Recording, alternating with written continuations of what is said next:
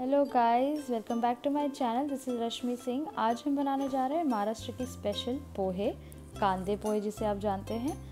कांदा पोहा बनाने के लिए हमें चाहिए दो से तीन वाटी मैंने पोहा ले लिया है। चीनी, राई, जीरा, हल्दी, लाल मिर्च। दो बड़े कांदे काट लिए मैंने बारीक बारीक कड़ी पत्ता, चार मिर्ची, टमाटर नमक स्वाद अनुसार मूंगफली।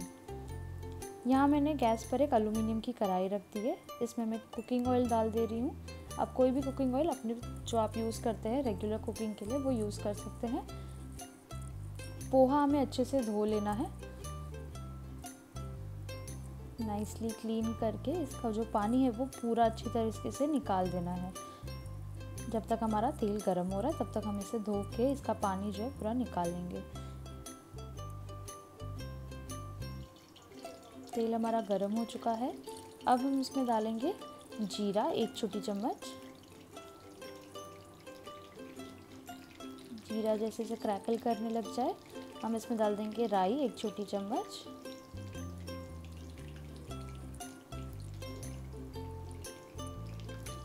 कड़ी पत्ता तड़के के लिए हम डाल देंगे इसमें। मूंगफली डाल देंगे। मूंगफली अपने स्वाद अनुसार डाल सकते हैं अगर आपको ज़्यादा पसंद दाल, ज़्यादा डालिए हमारे घर पे सब ज़्यादा पसंद करते हैं, इसलिए मैंने ज़्यादा डाली है। हमने जो काट, कांदा काट के रखा था, वो हम डाल देंगे, दो बड़े कांदे और चार मिर्ची।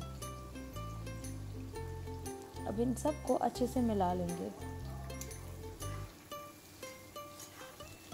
कांदे को हमें एकदम लाल नहीं करना है तो हल्का सा जो इसका क्रिस्प है, वो खाने में आना चाहिए। इसमें हम डालेंगे हमारे मसाले, जो कि है हल्दी, लाल मिर्च और नमक। नमक स्वाद अनुसार डालेगा हल्दी छोटी चम्मच, लाल मिर्च भी बहुत थोड़ा सा चुटकी भर।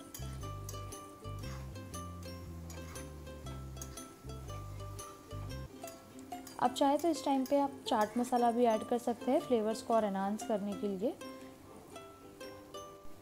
आपके टमाटर आप डाल देंगे इसमें, जब आपके प्याज थोड़े से ट्रांसलूसेंट हो जाए, तब हल्का गुलाबी रंग उसमें आ जाएगा, तभी आप टमाटर डाल देंगे। इसमें मैं डेढ़ चम्मच चीनी डाल रही हूँ।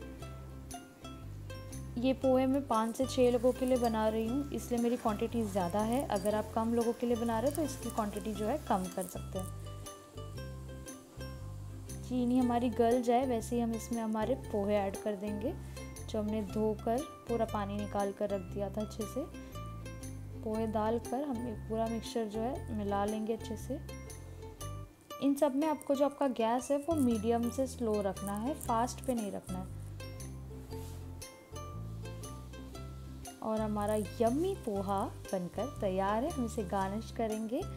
सेव से, या कोरिएंडर हो, आपके पास धनिया पत्ती हो, आप उससे भी इसे गार्निश कर सकते हैं। गर्मा गर्म टेस्टी कांदे पोहे तैयार है। अगर आपको ये रेसिपी अच्छी लगी हो तो आप इसे ज़रूर लाइक करिएगा। कमेंट में बताइएगा कि अगली रेसिपी आप कौन सी देखना चाहते हैं। Thank you for watching